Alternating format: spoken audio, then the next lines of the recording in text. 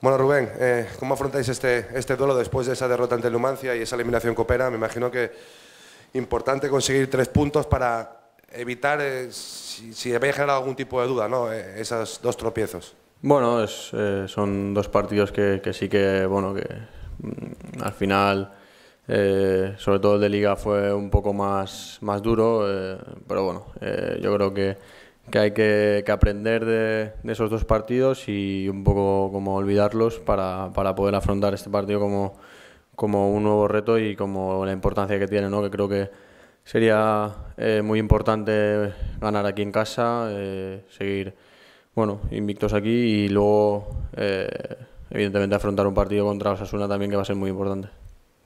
Rubén.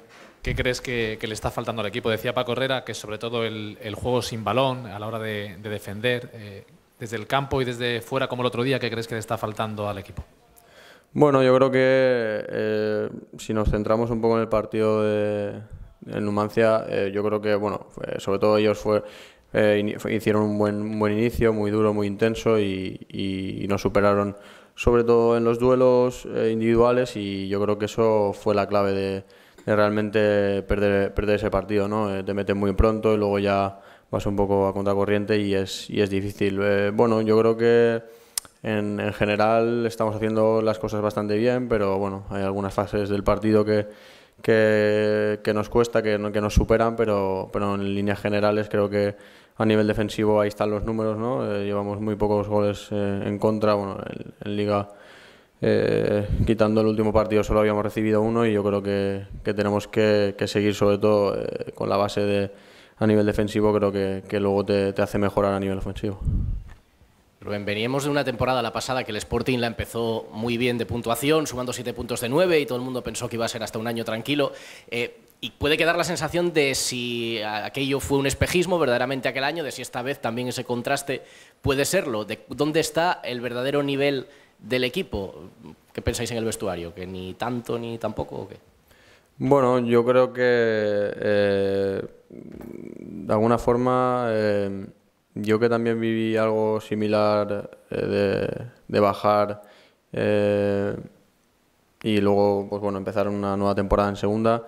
Pienso que de cara al año anterior hay que, hay que mirar evidentemente las cosas que se hicieron mal, pero un poco olvidar también y iniciar un, un, una nueva etapa que yo creo que es esta, que, que, bueno, que sí que ha sido un buen inicio, pero que también lo dije la última rueda que hice, que, tenemos que, estar tranquilos, tener los pies en el suelo, porque aquí al final segunda división eh, es, una liga totalmente diferente a todas, eh, es muy larga, muy, muy complicada, muy apretada y yo creo que se está demostrando, ¿no? Que, eh, nosotros mismos también veníamos eh, invictos, eh, solo recibiendo un gol en contra y, y visita Soria, un campo muy difícil, con, con bueno, con, con, un estilo de juego que, practican que, llevan muchos años haciéndolo y que es muy complicado y, bueno, de alguna forma son muy superiores y, parece que, que, bueno, que estabas ahí arriba y que, ibas a priori ser un partido fácil y, te, te realmente te dan un meneo.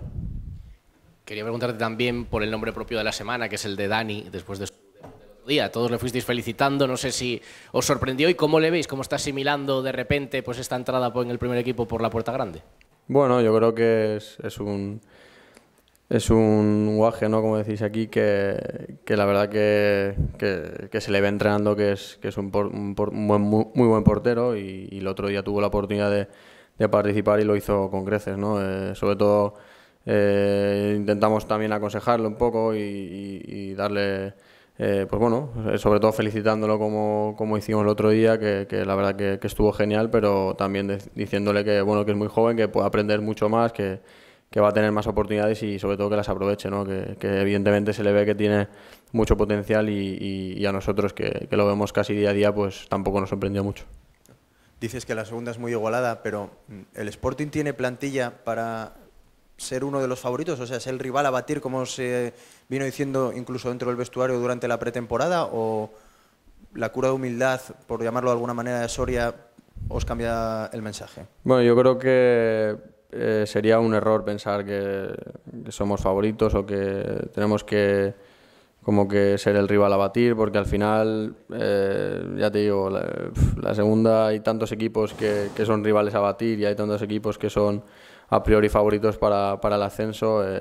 te podría dar mil ejemplos de todos los años de, equipos que les ha pasado, de clubes que a priori pues bueno, tienen plantilla y tienen bueno, buenos equipos para, para poder ascender, pero pero al final siempre incluso acaban hasta padeciendo por, por no bajar a segunda vez. El año pasado tienes, tienes mil ejemplos, entonces yo creo que, que cogiendo esos ejemplos vamos a, intentar eh, eh, pensar de otra forma, pensar en, en, ser un equipo que trabaja desde la humildad y, y, yo creo que a partir de ahí seguro que nos va mejor.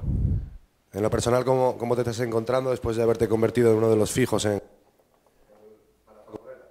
pues la verdad que, bueno, eh, muy contento porque eh, eh, en el primer momento que, pensé en venir, mi intención era, pues bueno, intentar jugar los máximos minutos posibles, participar, ayudar al equipo y por ahora lo estoy cumpliendo. También, pues bueno, trabajando desde la humildad, desde, cada entrenamiento, cada minuto que, puedo participar en el campo, intentar darlo todo y, y bueno, y contento, muy contento. Ya el año pasado Lillo, que luego se fue a Sasuna, que muchos jugadores no podían con la presión del Molinón. Eh, hasta ahora has conocido el lado benévolo, o habéis conocido. El otro día desde la grada en Copa hubo pitos. Eh, no sé si te diste cuenta. Eh, ¿Tú crees que la plantilla tiene carácter suficiente para que el sábado no salgan las cosas y haya una bronca y, nadie se venga abajo? Bueno, yo creo que, que tenemos que jugar también con, ello, ¿no? somos al final profesionales y, evidentemente eh, sí, que, sí que voy notando y, es, lo evidente que, que, el campo y la afición es, exigente. ¿no? Yo creo que eh, tanto para bien como para mal, igual como el día de Oviedo eh, nos llevaban en volandas y, parecía que, cada esfuerzo pues era mínimo ¿no? y, nos viene bien en los buenos momentos. Yo creo que en los malos pues bueno tendremos que intentar sacar ese carácter y, bueno y intentar eh, darle la vuelta a la, situación en los momentos que, bueno pues que no esté saliendo tan bien las cosas yo creo que que, hay más cosas buenas en, estos momentos eh, a nivel de afición yo creo que el sábado esperemos que se lleven una, alegría no sé si por el hecho de venir de, la misma ciudad que Curro Torres, que el técnico de, del Lorca, eh, también hay algunos jugadores que pasaron por la cantera del, del Valencia. Yo no sé si tú los conoces más o menos y sabes cómo pueden jugar, si es un equipo que al venir al Molinón el sábado se va a echar atrás o tú piensas que a lo mejor van a intentar hacer otra cosa.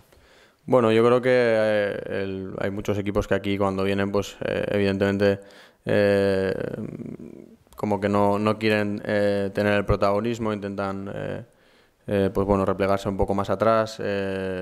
bueno, yo creo que que el Lorca sí que, no sé, la sensación que, me da que igual sí que son, yo creo que es un equipo con, con buenos jugadores también, gente joven también. Eh, de, conocer solo conozco a Antonio López que, se lesionó y, es una pena porque la verdad que, después de ascender con el, con el, equipo y tal, pues bueno, eh, eh, bueno coincidí con el filial del Levante y, y, he podido hablar poco con él ya que está lesionado eso, pero no, no, no conozco a muchos más.